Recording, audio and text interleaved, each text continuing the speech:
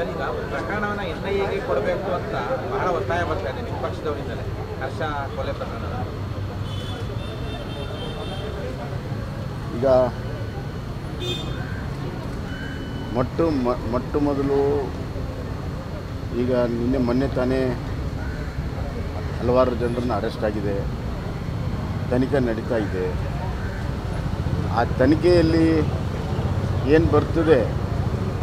ಅದರ ಮೇಲೆ ಮುಂದಿನ ಯಾವ ಏಜೆನ್ಸಿ ಕೊಡಬೇಕು, ಯಾವ ರೀತಿ ತನಿಖೆ ಯಾವ ಸಂಸ್ಥೆಯಿಂದ ಮಾಡಿಸ್ಬೇಕು ಅನ್ನುವಂಥ ತೀರ್ಮಾನ ಆಗ್ತದೆ. ತನಿಖೆ ಮಾಡೋದಕ್ಕೆ ಪೊಲೀಸರಿಗೆ ಅವಕಾಶ ಕೊಡಬೇಕಾಗ್ತದೆ. ಮತ್ತು ಎಲ್ಲಕ್ಕಿಂತ ಮುಖ್ಯವಾಗಿ ಈಗ ಶಿವಮೊಗ್ಗದಲ್ಲಿ ನಾವು ಕಾನೂನು ಸುವ್ಯವಸ್ಥೆ ಮತ್ತು ಶಾಂತಿ ಸಲುವಾಗಿ ಈಗ ನಮ್ಮ ಎಲ್ಲ ಪ್ರಥಮ ಪ್ರಾಶಸ್ತ್ಯ ಇದೆ. ಈಗಾಗಲೇ ಕರ್ಫ್ಯೂ ಇದೆ.